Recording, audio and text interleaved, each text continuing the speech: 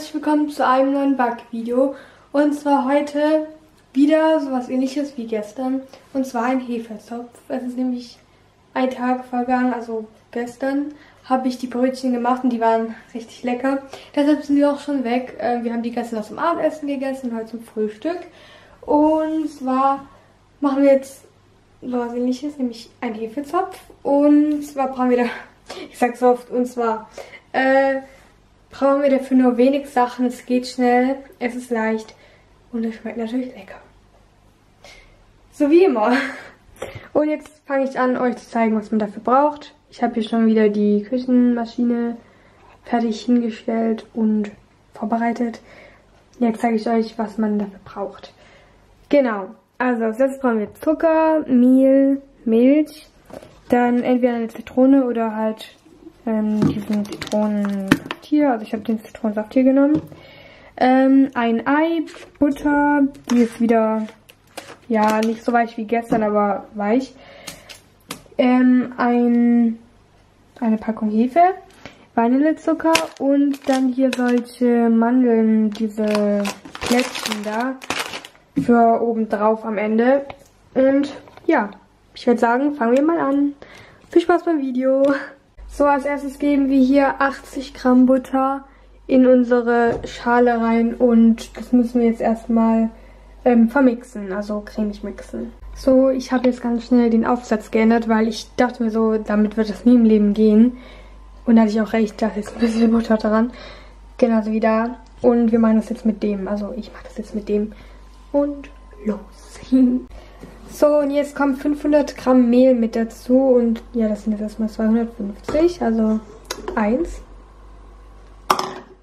Genau, jetzt sind hier 500 Gramm drin. Äh, ich musste gerade eine kurze Pause machen, weil Mama die Kamera gebraucht hat ähm, für ein anderes Video zum Schneiden. Deshalb geht es jetzt weiter und jetzt wird es, wie ihr vielleicht schon gemerkt habt, richtig leicht, weil jetzt kommen nur noch die restlichen Zutaten rein. Und da zeige ich euch jetzt einfach die Angaben. Also es ist eigentlich richtig leicht.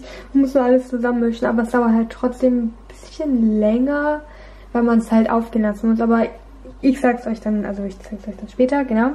Und jetzt kommen wir 125, ähm, nein, 120, nein, 100 Gramm, 100 Gramm Zucker kommen da rein. Das ist nämlich eine 125 Gramm ähm, Schale.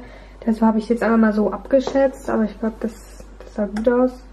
Hier 125, aber egal. Ich glaube, das sieht gut aus so. Genau, jetzt kommt ein Päckchen Hefe rein. Genau.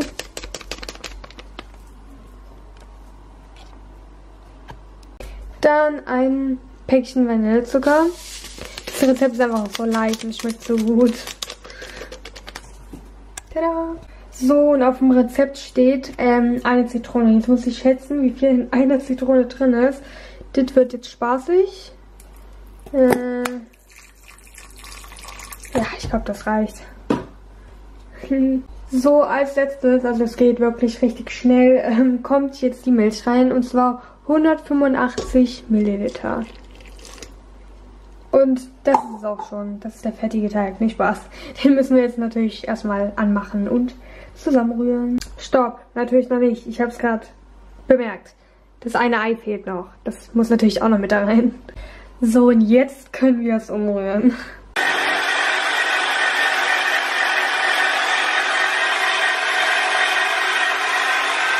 So sieht mein Teig jetzt aus. Er ist wieder so klebrig und man kann ihn so langziehen sozusagen.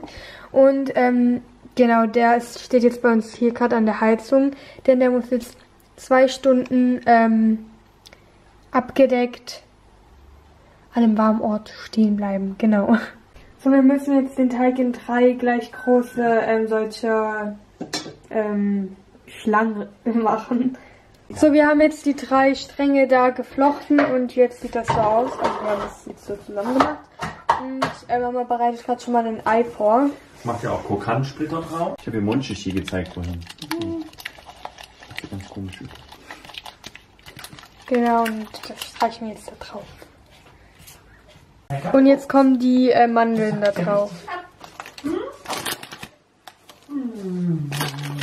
Warte, Papi dreht sich um. So, guck.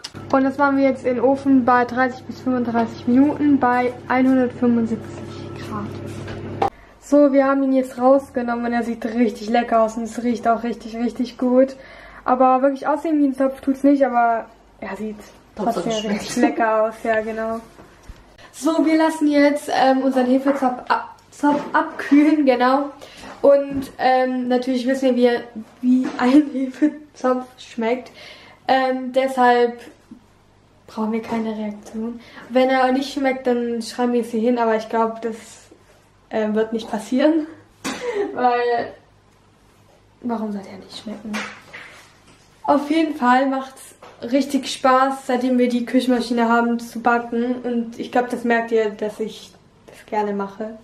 Vor allem, äh, wenn man zuguckt, wie sich das von alleine rührt und man keine ähm, Hand dafür braucht, wo man das festhalten muss und dann die Hand wehtut. Und meine Oma hat auch eins ähm, sich vor ein paar Tagen gekauft und ähm, die backt auch wie verrückt, genauso wie ich. Und es macht noch viel, viel mehr Spaß als davor, wie gesagt. Ja, und wir essen jetzt gleich Abendessen damit, ähm, mit Butter oder so.